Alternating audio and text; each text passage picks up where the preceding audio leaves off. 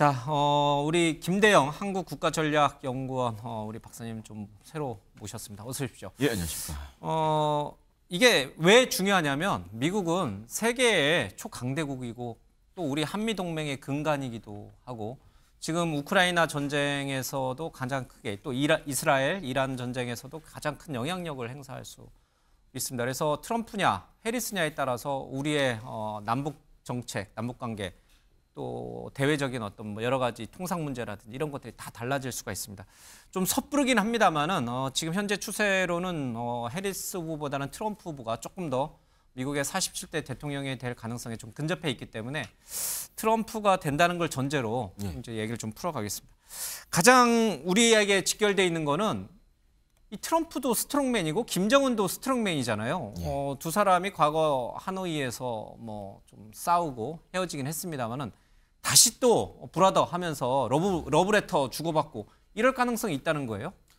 충분히 가능성이 있습니다. 음. 음, 첫 번째로는 사실 이번 미국 대선의 좀 특징 중에 하나가 대외 정책이 크게 이슈로 떠오르지 못했어요. 음. 그러니까 국내 문제가 주로 지금 이제 많이 이 예. 대선의 이슈로 등장을 했고 또 한 가지로는 어, 미국이 이라크와 아프간 전쟁을 거치면서 많은 미국인들이 이 전쟁과 관련돼서 이제는 혐오스러워하는 정도로 음. 그러니까 이제 밖에서 일어나는 전쟁에 미국이 개입하는 거에 대해서 굉장히 좀 부정적인 여론이 많습니다. 음.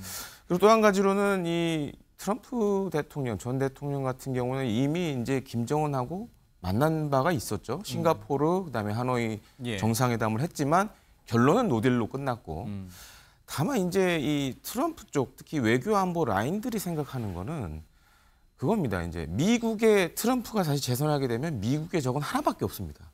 중국. 예, 중국밖에 없습니다. 예. 그럼 정리를 해서 좀 죄송합니다. 예, 정리를 해야겠죠. 그러면 이제 지금은 사실 미국의 적이 한 네 개 정도 되는데 이란, 북한, 러시아, 중국인데 예.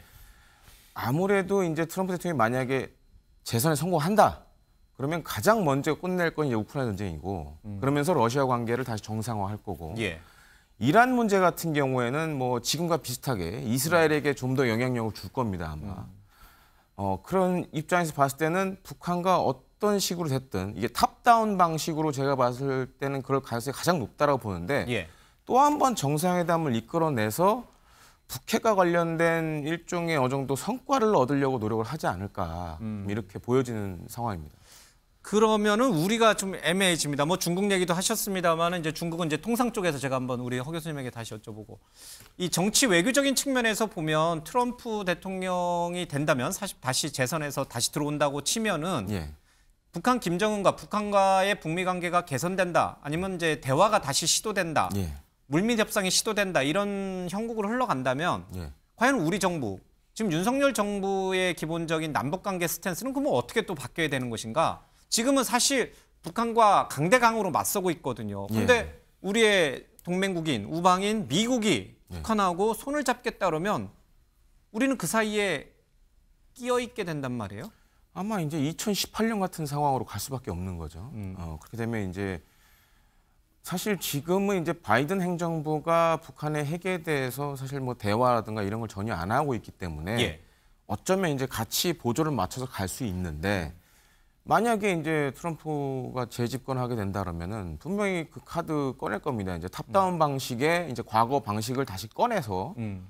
어, 대화를 시도하려고 할 텐데 이러면 지금 사실 이제 윤석열 정부의 대북 정책이라든가 이런 것들이 다 흔들리게 되는 근간이 완전 흔들리죠.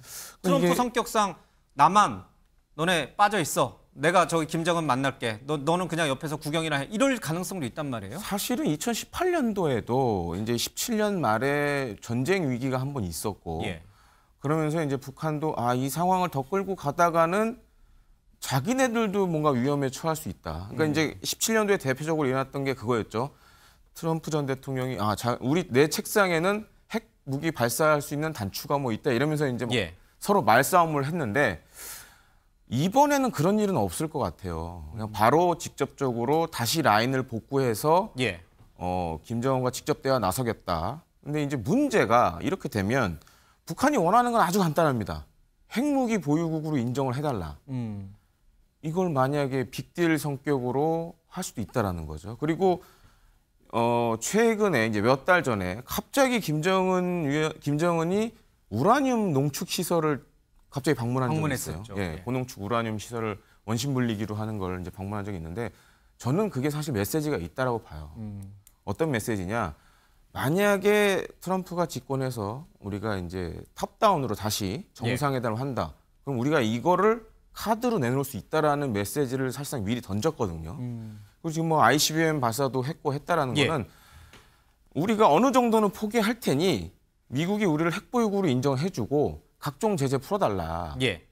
그럴 가능성이 저는 굉장히 높다라고 보여집니다. 그리고 미국하고 뭐 수교 관계는 아니지만 예. 이제 적과 적인 관계는 청산을 하겠다.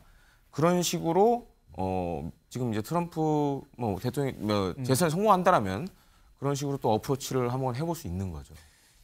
어, 지금 트럼프가 대통령이 되는 거를 가장 경계하고 어, 두려워하는 거는 우크라이나 젤렌스키 대통령 같아요. 그렇죠. 네. 푸틴 러시아 대통령에 전화해가지고 트럼프가 이제 공언을 했어요. 전쟁 멈춰 끝내. 그러면은 푸틴이 오 그래 알았어 끝낼게 이렇게 할 수 있다라고 트럼프 후보는 얘기했어요.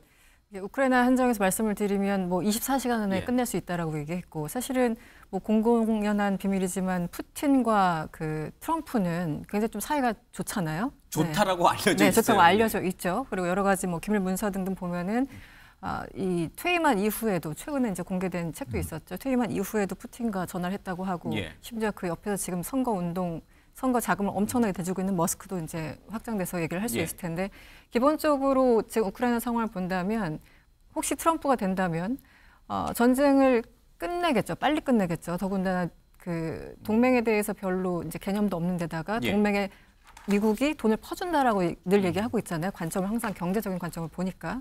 그래서 젤렌스키 입장에서 굉장히 안 좋은 상태에서 푸틴 입장에서는 역으로 굉장히 좋은 상태에서 전쟁이 끝날 것이라는 어떤 전망, 우려 섞인 전망들이 나오는 게 또 사실이고요.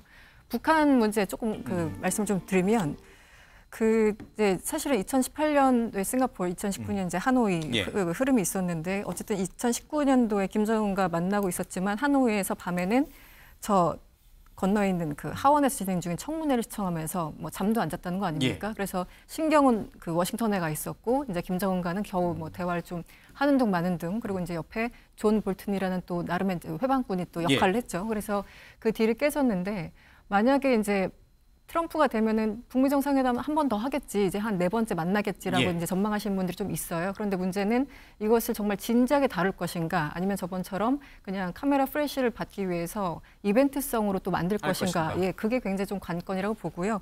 저는 트럼프가 어쨌든 이제 재선이 만약 된다면은 이제 마지막이잖아요. 뭐 더 나갈 일은 없으니까. 예. 그래서 뭔가 정말 성과를 이루고 싶다면 그존 볼튼에 대한 어떤 분노를 뭐 이렇게 약간 표출하는 그런 정치적 맥락도 있을 테고 어, 다시 김정은과 만나서 뭔가 풀어갈 가능성이 있는데 문제는 이미 하노이 때 한번 처참하게 깨져서 김정은 완전히 그 체면이 상했잖아요. 60시간 기차 타고 갔었는데 그래서 이번에는 굉장히 그 진입 장벽이 높습니다. 그러니까 음. 전제 조건이 굉장히 높아질 거고 대화를 열기까지가 상당히 힘들 겁니다. 그래서 거기서부터 시작을 해서 음. 예. 서로 주고받기를 할 텐데 네, 비핵화로 끝날지 뭐 완전히 뭐 일종의 핵 보역으로 인정할지 이런 디테일들은 좀 이제 나중에 문제고요. 네, 두 가지 갈래가 있을 것 같습니다. 예. 네.